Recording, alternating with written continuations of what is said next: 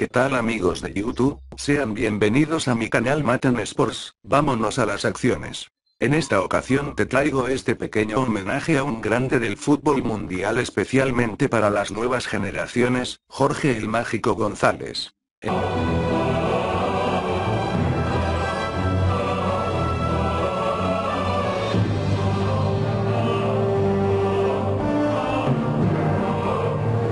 Muchos goles que el mágico y las jugadas que, él realizó.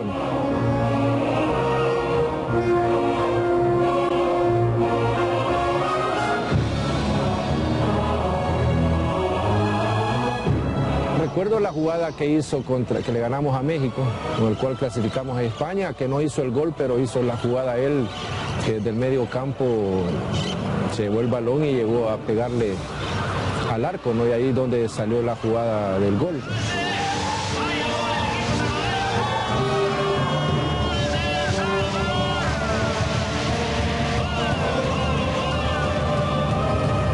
Ever Hernández hizo el gol con el cual le ganamos a México. Entra al Salón de la Fama Jorge Mágico González.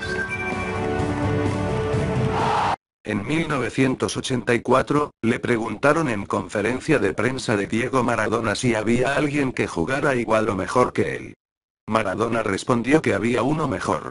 Jorge Mágico González, un jugador salvadoreño cuya pasión principal eran las mujeres, irse de fiesta y dormir.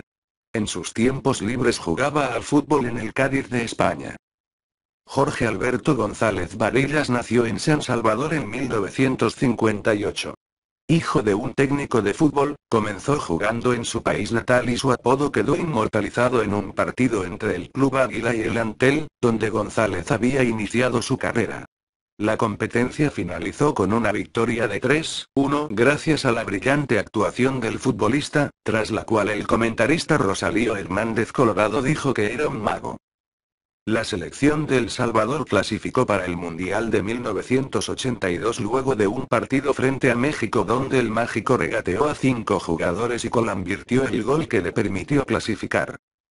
A pesar de que la selección salvadoreña quedó afuera en primera ronda, actuación del mágico fue estelar. Tanto que lo incluyeron entre los 11 ideales de España 82. Fue entonces que varios clubes europeos comenzaron a fijarse en él. El Cádiz de España, el equipo donde se inmortalizó.